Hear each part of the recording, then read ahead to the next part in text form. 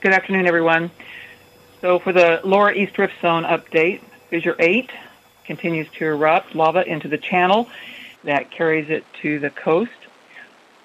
Overnight and this morning, the lava in that channel seemed sluggish, and uh, um, the channel, le- the lava level in the channel was a bit lower than we've seen in recent days. At the coast, the lava flow um, remained about a tenth of a mile, or another way to look at it is 500 feet from the Pohoiki boat ramp at Isaac Hale. The actual ocean entry was still a few hundred yards east of that flow edge. There were no other fissures active this morning. Gas emissions at the lower east rift zone remain high and, of course, contributes to the ongoing hazard associated with VOG.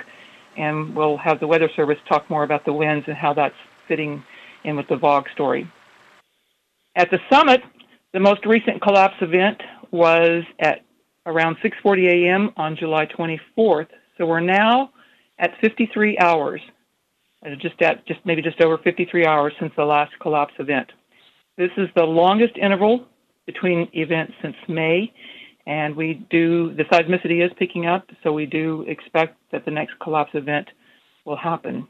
The SO2 emissions at the summit remain low, on the order of 100 tons per day. And I'll stop at that. Thank you, Janet. Our next speaker is Jessica Ferracane. That's F as in Frank, E R R A C A N E. Jessica Ferracane is the Public Affairs Officer with Hawaii Volcanoes National Park. Good afternoon, everybody. Um, I have two updates to share with you this morning, or this afternoon, sorry.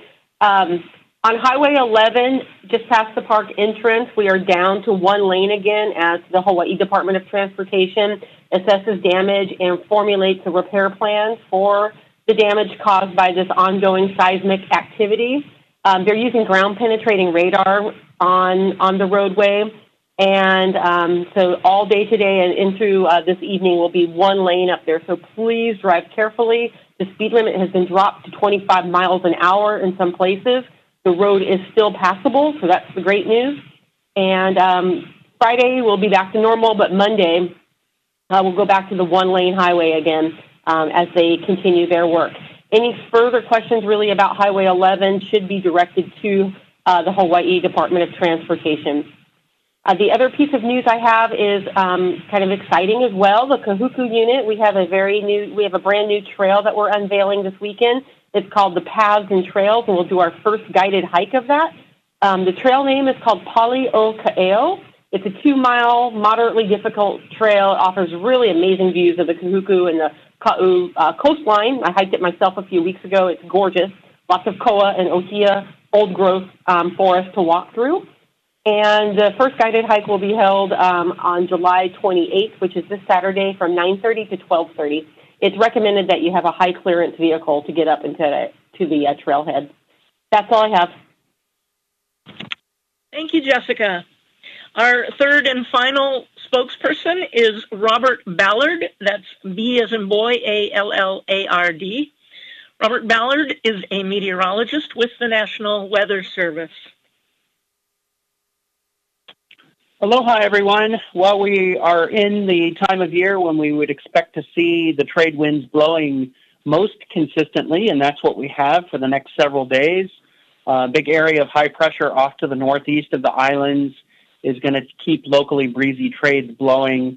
So the emissions from the volcano, including VOG and LAZE, uh, would be expected to blow toward the southwest, uh, which is what we've seen most of the time uh, over the last few days, with some uh, brief periods where the plume has gotten pulled more toward the west or west northwest. Um, we are st- still seeing some enhancement um, to the shower activity coming in, uh, w- which has been the case uh, for the last several weeks. Um, and again, when we have areas of enhanced moisture moving through, like what we had last night over the Big Island, uh, the cumulus um, blowing up over the lower east rift zone gets taller and deposits more uh, rainfall over a very localized uh, small area. Um, but areas uh, like Leilani Estates are seeing uh, a lot more rainfall than than they would typically see in a trade wind pattern. And again, that's as I've said before, that's going to continue for as long as the volcano is putting out hot lava. Um, trying to think of what else to talk about. There are uh, a couple of uh, depressions in the East Pacific, which the National Hurricane Center has just spun up. Neither of those is expected to be uh, any real threat to the Hawaiian Islands or have any impact uh, on the lower east rift zone, at least not at this point. point, and we don't see any reason why farther out in time why that would happen either. So something we'll keep an eye on, but we're not really that concerned about it at this point. And I think that's all I have. Thank you very much, Robert. Um, in a moment, we will go to questions. I want to take um, advantage of this moment in case any people join the call since we started in the very beginning and remind people that today's telephone news briefing will be the last in the series of regularly scheduled, or I should say pre scheduled, news briefings about Kilauea activity. Um, the volcano and the volcanic activity has stabilized enough, if, if you can call an active volcano stable, that is, um, but enough so there's not breaking news every single day. You are still always welcome to contact us, any of the experts on these briefings. You can send an email to volcanomedia at usgs.gov and reach us. And of course, if anything really big does happen, we can always reschedule briefings in the future. But for now, this will be the last in the series of regularly pre scheduled briefings. Our first question comes from Caleb Jones. Your line is open with the Associated Press. Sorry about that. Hello, everyone. Good afternoon. Um, apologies in advance for the several questions that I'll have today, but I will uh, get back in line after the first one. Uh, Janet, uh, I've heard some anecdotal um, accounts of um, a relationship between uh, summit collapse um, explosions and uh, a surge of lava coming out of Fissure 8. Um, the, the, the question I have is is first of all, is that true? And um, you know, kind of the second part of that question, if there were um, a blockage or a, a, possible collapse of the cone around Fissure 8, and then a subsequent uh, collapse explosion at the summit, uh, is there a potential for a larger um, eruption uh, at Fissure 8? Hi, Caleb. This is Janet. I'm going to turn you over to Ingrid uh, Johanson and, and, have her answer. Hi. So, yeah, I can address the um, the first of your questions uh, regarding whether or not um, there uh, is evidence for a surge uh, in uh, lava flow out at Leilani Estates after uh, a collapse. So, we, we see um, a correspondence. We've seen a correspondence on several occasions between the occurrence of a Type A and uh, an increase in uh, lava effusion rate. Uh, it, hasn't been um, uh, fully conclusive, and so far it hasn't proved to be predictable in terms of being able to predict that there will be overflows or predict what might happen with uh, the lava channel. But we do see uh, some evidence for an association between the two. for your second question, I'll turn you back over to Janet. Okay. so so, Caleb, the sec- second part of your question was? Uh, well, uh, I guess the overarching question is, you know, as the cinder cone builds up around Fissure 8, is there a potential for a collapse there that could uh, create a blockage uh, where there would uh, where it would force lava to come out somewhere else? A collapse. You're talking about a collapse of the cinder cone at Fissure 8.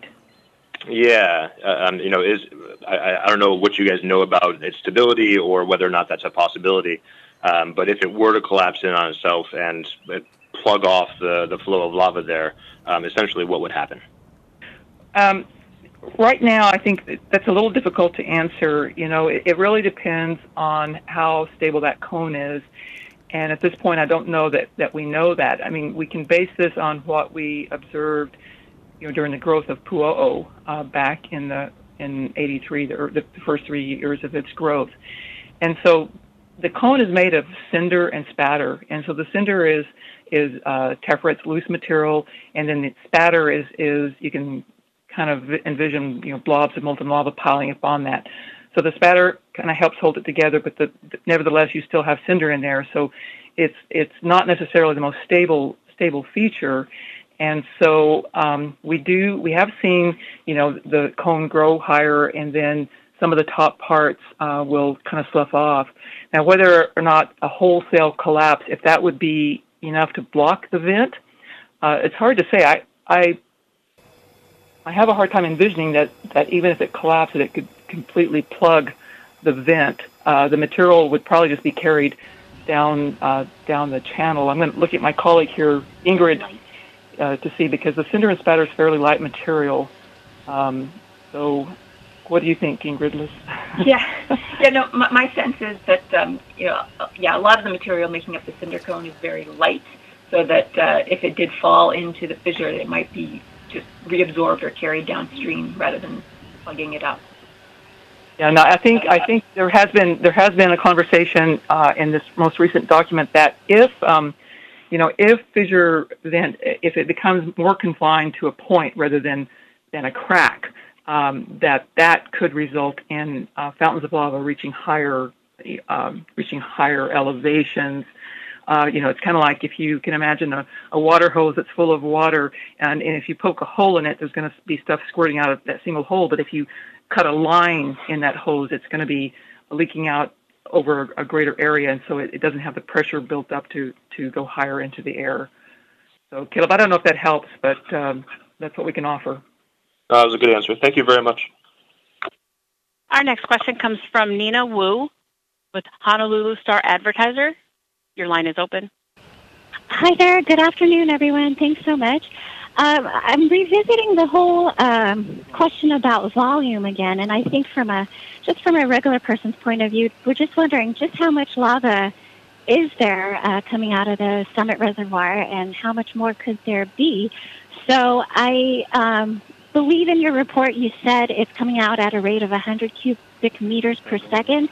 Uh, do scientists have an estimated volume? How much magma is at the Summit Reservoir? And is it possible there could be a secondary reservoir supplying the East Rift Zone? I, you know, I'm going to have to get back to you with the um, exact number for um, our, our, most recent estimate for the volume coming out of the um, Summit Reservoir. oh, okay. There's an updated volume? Okay. Well, I, I, I, uh, I do need to go back and check. I'm not sure when the last time you got a volume was. Oh, okay. I was referring to the uh, July 15 report, which said it was estimated about 100 cubic meters per second, or there was a range for up to 150 cubic meters per second. Uh, Nina, you're you're asking two two different questions. Uh, you're asking one part of your question seemed to be asking the volume of the summit reservoir of magma, and okay. then the other part of your question seemed to be asking the volume of lava being erupted. The 50 to 150 cubic meters per second is the volume of lava that's moving through the channel, being erupted at fissure 8.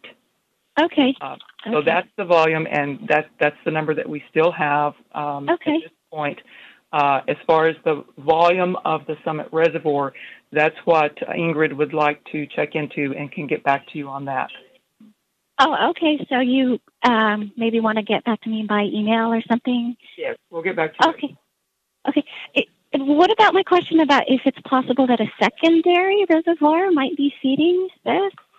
Yeah. At, so at the moment, we don't see uh, evidence for a second reservoir feeding into the eruption to um, to a large degree. Um, okay. it appears to still be the shallow Halemaumau reservoir. Okay. Thanks. I do have a second question, but I can wait till the next round. Our next question comes from Austin Westfall with Hawaii News Now. Your line is open. Hi. So I saw that no Type A flows have been reported since Tuesday at 6 a.m., and that this is the longest interval between such events since uh, late May. I also heard you say that the lava in the channel uh, seems sluggish and the lava levels seem to be lower. And on top of this, the fountain at Fissure 8 uh, it appears to be relatively low. Um, with all that, is there any likelihood that Fissure 8 might be slowing down? Yeah, Austin, this is Janet at, at uh, uh, the Hawaiian Volcano Observatory. That really is a million dollar question right now. Um, we're watching this closely. Um, I think it all depends what we see after the next collapse event. Uh, that will that will, I think, uh, n- no one is making a prognosis or a forecast at this time until we see uh, when and the effects of the next collapse event at the summit. And now we'll go to Michael Phillips with Weather Boy Weather. Your line is open. Hi, it looks like uh, there was just a collapse event just moments ago. Hi, this is Janet. I want to just uh, uh, interrupt here for a moment. That is um, is true. We just got the word at um, I think it was determined at 12:10.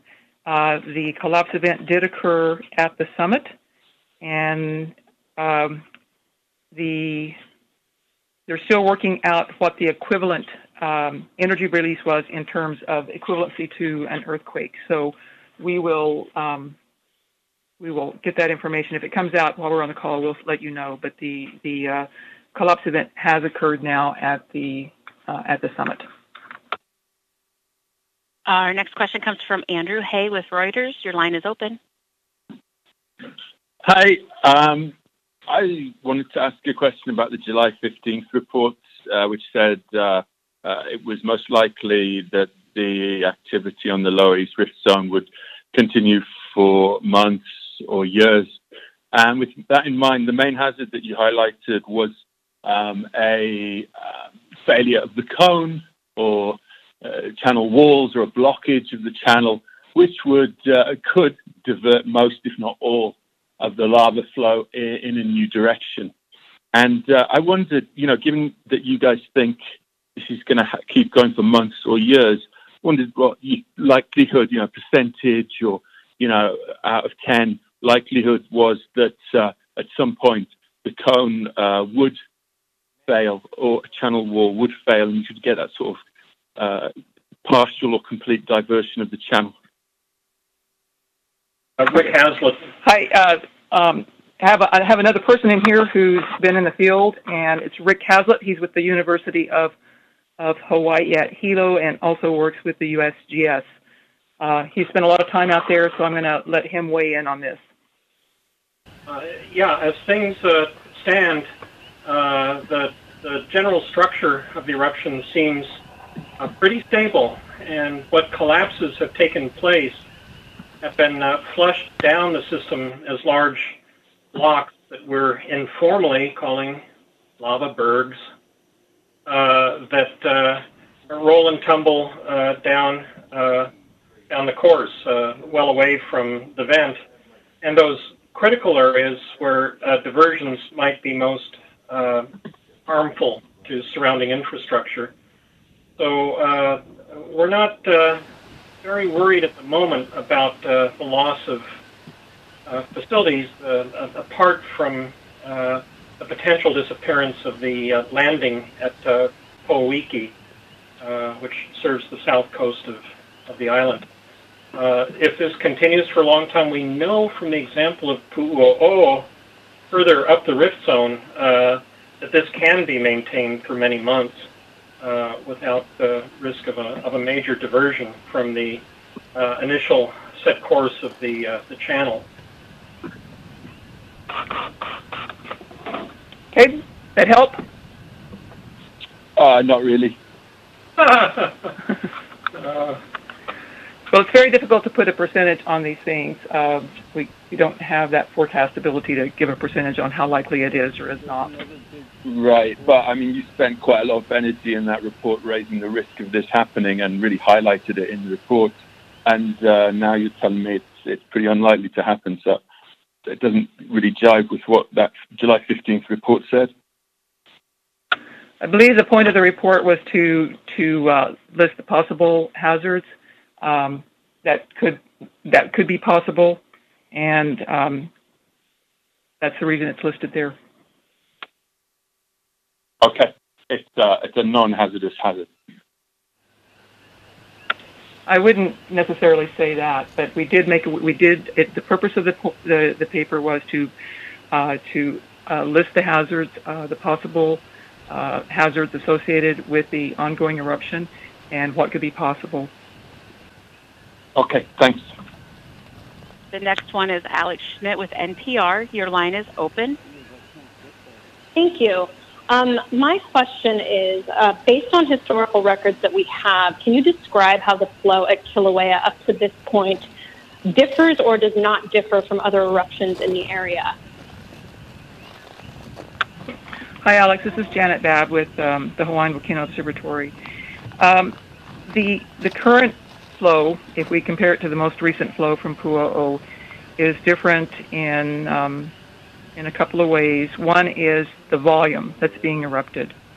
Uh, the volume of the current flow is, as we've stated previously on this call, is 50 to 150 cubic meters per second, whereas the 61G flow from Pu'u'o, which was the most recent flow from from that eruption just prior to this event, uh, the volume output was between three and four cubic meters per second.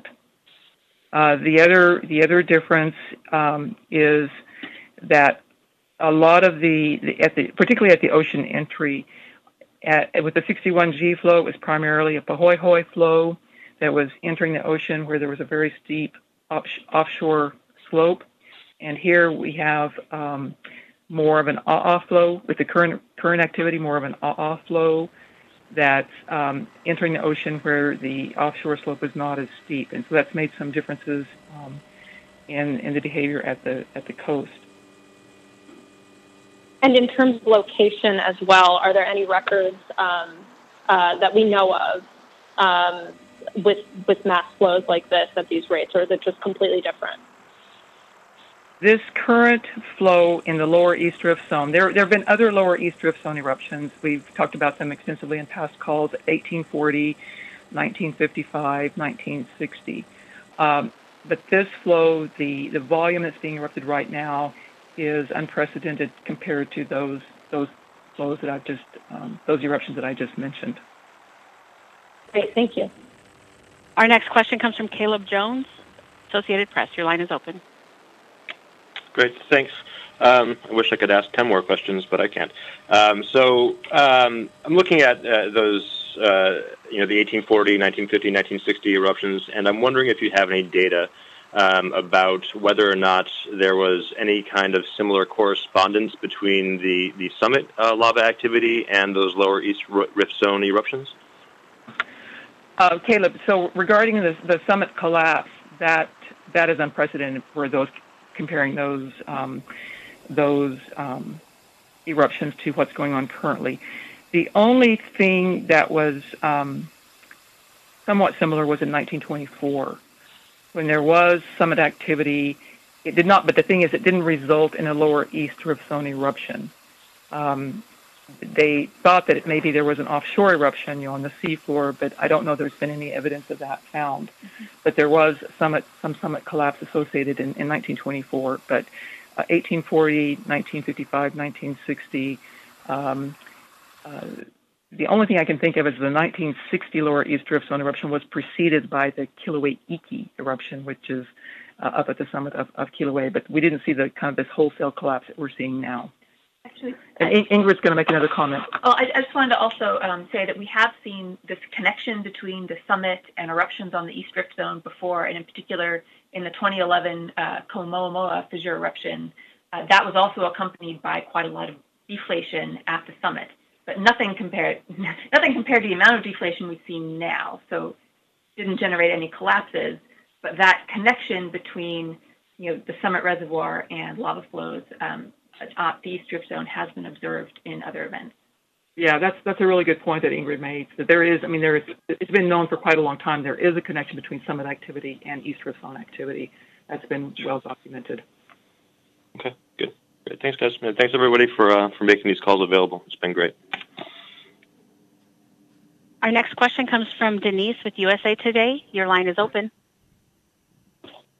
Um, uh, hi, my question had been for Janet, but it was answered. I was wondering what the magnitude was of the eruptive event, but I already got the text while I was waiting in the queue. Okay, we'll move on to the next one. It's Austin Westfall with Hawaii News Now. Your line is open. Hi, I want to know what's being done to monitor the development of the lava formation offshore. Uh, is there still danger of a collapse, and is it supported below by earth, or old flows, or is it creating sort of a, a shelf uh, that could conceivably collapse and cause a, a local or larger tsunami? Uh, if this question has already been uh, asked and answered, I apologize, but I feel the public may need to be either warned or, or reassured about this. Yeah, I assume you're asking about the lava delta. Is that correct? Yeah, the lava delta. Okay. So the lava delta, the hazards associated with ocean entries and lava deltas are, are well documented. Uh, we even have a page on the Hawaiian Volcano Observatory website about ocean entry hazards and this, this very subject. Um, so what what's a little different now is that the offshore topography is not as steep as it has been uh, in past ocean entries on Kilauea. And so that makes a difference on, on how that lava delta builds up as well as its stability. But at some point, as the current lava delta continues to push seaward, as it continues to build out seaward, it will eventually reach the, the edge of the shelf and then deeper water. And so it takes, once that happens, it takes longer for the, the delta to build up. but then it's also um, more unstable in that it's, it would be easier for it to, to break apart and to collapse. Uh, so I can't remember all the parts of your question, but generally hazard, speaking, the, the, the, hazards are documented. We do have the information on our website uh, it, that, that could be helpful to answer your question. Thank you. And our last question comes from Nina Wu with Honolulu, Honolulu Star Advisor. Your line is open. Just wondering, what was the re- reason for the, the delay in this one, since this is the first of that delay? What could be the reason for it, and how long are these expected to occur? Yeah, so as for you know what the reason is, um, that's a question that we're asking ourselves. So that's that that's a, one of the primary things that we would like to understand about this event, and this is sort of um, unprecedented territory. One possibility is that um, we are seeing um, a, a, decrease in the occurrence of these events. But I, I, I probably shouldn't even have said that because I think that's um, much too soon uh, to tell. So for now, th- there is some variability in um, when these occur, you know, how frequently these events occur, um, and this was um, outside the typical range. Uh, I think we really have to look for a couple more to see if um, this timing uh, the timing continues to lengthen and activity decreases, uh, or if we end up um, as frequent as we were in the past. Okay, so we don't know how long these will are expected to occur. We don't know how long, how many, how many more there are, or how long, as long as the eruption continues, or our assumption is as long as lava continues to erupt on the lower east rift zone that there is the likelihood of continued uh, summit collapses. And again, I think the, the, the length of the interval between the last one and today's event, uh, that could be an anomaly. But as Ingrid said, it's too early to say. We need to wait and watch and see how the next collapses occur and to see if the interval between collapses is indeed increasing or if this was just an anomaly. You know, we have seen it has varied from the beginning, and yes, you are correct. I believe that uh, today's is number 58. It's some, it's, it's approaching approaching 60, but um, yeah. So there have been variations in the intervals between the collapse events, and so right now um, we're waiting and watching to see how how what happens in the coming days.